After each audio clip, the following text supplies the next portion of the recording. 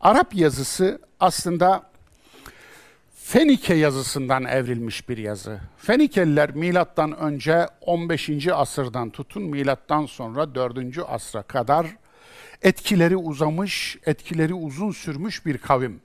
Akdeniz'i kolonileştiren kavimdir Fenikeliler.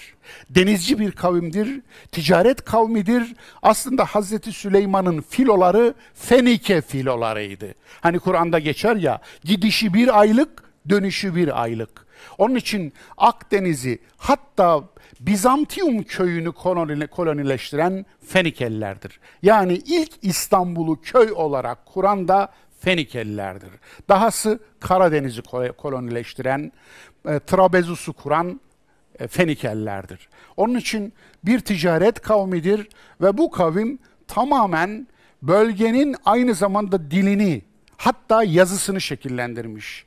Bugünkü dünyada kullanılan yazılar Latince'nin, Latince alfabesinin kökeninin ne olduğunu düşünüyorsunuz mesela? Fenike alfabesi. Evet. Yani Batı'nın kullandığı yazının alfabesi güneyden, doğudan gidiyor. Fenike alfabesidir.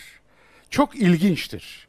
Onun için Arapçanın da ta arkaik olarak alfabetik aslı oradan geliyor. Oradan kime geçmiş? Nabatilere. Nabatlılar buradaydı. Burada devlet kurdular. Yine milattan önce 3. yüzyılda kurdular ki milattan sonra 4. yüzyıla kadar da devam etti Nabatiler. Nabatilerden şuraya geliyor. Yani bugün Irak sınırları içinde bulunan Kufe yakınlarındaki Hire'ye geliyor yazı. Ki Lahmiler devleti var orada. Orada daha da ileri boyut kazanıyor Arap yazısı ve Mekke'de okuma yazma bilen sayısı yaklaşık 17 kişi olarak verilir. Bunların da kaçı okuma yazma biliyor, kaçı sadece okuma biliyor emin değiliz. Ama Mekke'de yazı bilen, Arapça yazabilen insanların yüzde 99'u Hire'de eğitim görüp, yazıyı öğrenip, yani Lahmiler Devleti'nde yazıyı öğrenip, Arabistan'a gelmiş, Mekke'ye gelmiş, Hicaz'a gelmiş insanlardan oluşuyor. Dolayısıyla Arap yazısı da 28 alfabelik bir yazı ve yazının ilk metinleri, bize kadar gelen ilk metinleri çok eski değil. 512 tarihli ilk metin. Arap yazısıyla gelen. Çok eski değil. Onun için diyorum, o da aslında bakarak Arap dilini öğreneceğimiz bir metin değil. Bu anlamda Arap dilinin ilk mükemmel metni Kur'an-ı Kerim'dir. Bu çok önemli. Onun için şunu söylüyorum. Kur'an'da bir Arap diliyle ilgili bir ifade şu şekilde geçiyor. Ama dil kuralını koyanlar bu dil kuralına aykırı diyorsa bu evladı annesini doğurması gibi bir şey oluyor. Anlatabiliyor muyum? Bu doğru değil.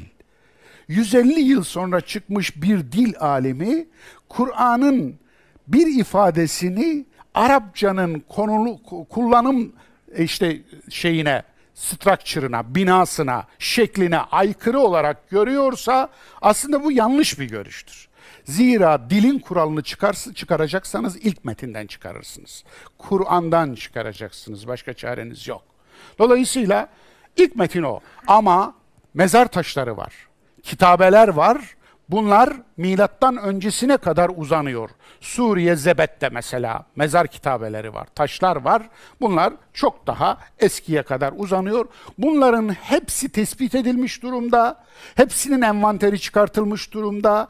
İlgilenenler kaynaklara ulaşabiliyorlar. Ben de ulaştım, indirdim, teker teker inceledim. O mezar taşlarında ve kitabelerde neler yazıyor onu gördüm. Bugün mesela elimizde Arapçanın gelişim aşamalarında harfler nasıl değişiklik gösterdiler onu da görebiliyoruz.